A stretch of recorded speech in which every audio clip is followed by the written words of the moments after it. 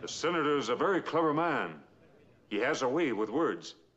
He has a knack for twisting the truth and distorting the facts to his own advantage. Listening to him here today makes me concerned for my country. Point of order. You will sit down, Senator. I see no reason why Senator Bodie should not continue. Thank you, Mr. Speaker. As I was saying, I'm concerned for my country when I see the way the truth can be bottled up by points of order and rules of parliamentary procedure. It's kind of frightening. But there's something that scares me even more than that. Politics, rules of parliamentary procedure can be learned by a man given enough time. A man with enough spirit, courage, and know how can fight what's been going on here today and he can beat it.